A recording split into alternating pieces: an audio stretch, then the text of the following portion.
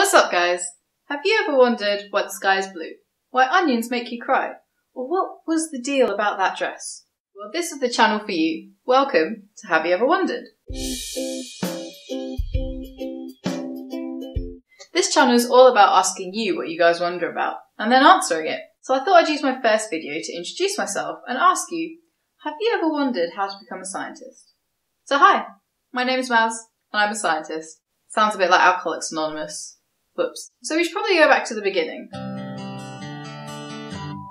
But not that far. I was born in Kent in the southeast of England. And I had a pretty normal upbringing as far as school was concerned. I was always quite good at school, so I did quite well at GCSE, and I didn't really have to try too hard. But after GCSEs, it was time for A levels, and I had to pick the subjects I wanted to study for the next two years. How was I supposed to know what I wanted to do? I was only 16. Because I was quite good at science, I chose to do biology, chemistry, and physics. But I also wanted a little outlet for my creative stuff, so I did media. Now, I thought A levels were going to be a jam. Just like GCSEs, I could breeze through them, and it'd be fine. But I was wrong. A levels are so much harder than GCSEs. Now, I wanted to do medicine in university, but after my AS levels, I knew I couldn't pick my grades up enough. So I thought about doing something sciencey instead, like biomedical science at university. It was quite broad, and I could do medicine after if I wanted to. But when my A level results came, they were really bad. And all of the six universities that I'd applied to to do biomedical science rejected me. So I had to go through something called clearing. In the end, I was offered two places, and I chose to go to the University of Kent. I wasn't really sure about going to Kent because I didn't really know the course.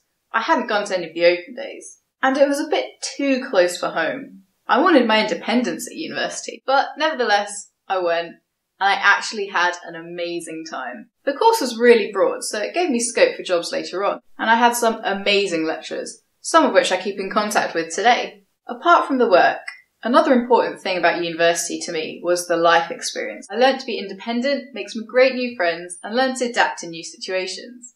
And I really enjoyed the course. And A levels had definitely given me a kick up the butt to do well in university. So when third year came around, it was time to choose what I wanted to do with the rest of my life. And I still didn't know. I was only 21. I wasn't sure about jobs because I didn't know which field I wanted to go in. So I thought maybe I could do research instead, and I started looking around for masters and PhD projects. I came across this really cool one, sponsored by industry. It was about creating a bioartificial kidney device for drug testing. So I applied for it, and pending my results, I got the place. But then it was time for the dreaded results day. I was so terrified because of what happened in A levels even though I'd done okay during my first and second year exams. On results day, I found out I had got what I needed. So then it was off to Loughborough University to start my PhD project. Now this project was funded by the BBSRC and sponsored by AstraZeneca, and the eventual title of the project was Incorporating Primary Human Renal Proximal Tubule Cells into a Hollow Fibre Bioreactor as an in vitro model for pharmaceutical research. That's a mouthful. But basically, it involved recreating a part of the kidney which is involved in drug processing outside of the body for drug testing. The project was really good because it involved some of my favourite modules from undergraduate, like pharmacology and physiology, but it also had some new elements in it, like chemical engineering and material science. Being sponsored by AstraZeneca meant I could go up to their research facility and do part of my project there as a placement. It was really interesting to see the difference between industry research and academic research. I was also really lucky because as I got to Loughborough, I was aligned with DTC and regenerative medicine. In my cohort, there were nine other people. And I was a bit nervous when I first got there because most of my colleagues had either done a job beforehand or had done a master's. And I was fresh out of university. But it was great because we had a support network there, which is really important during your PhD. What's more is I got to work alongside some great projects during my PhD, like turning stem cells into heart cells, creating muscles and joints outside the body, I even saw some embryonic stem cells spontaneously transform into beating clumps of cells. Pretty cool, huh? But I also learned that stuff goes wrong. And you need to be able to pick yourself up when all of your work goes wrong.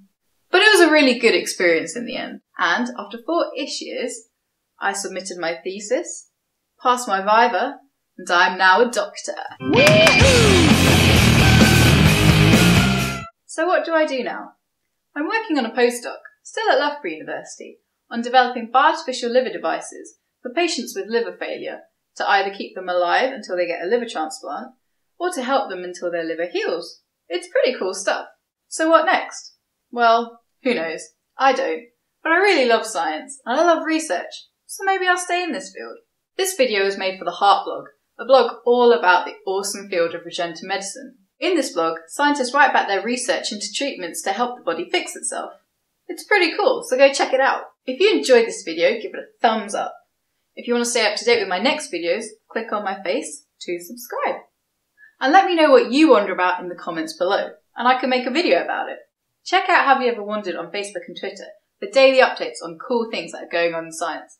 All the links are in the description box below. Thanks for watching and have a wonderful day.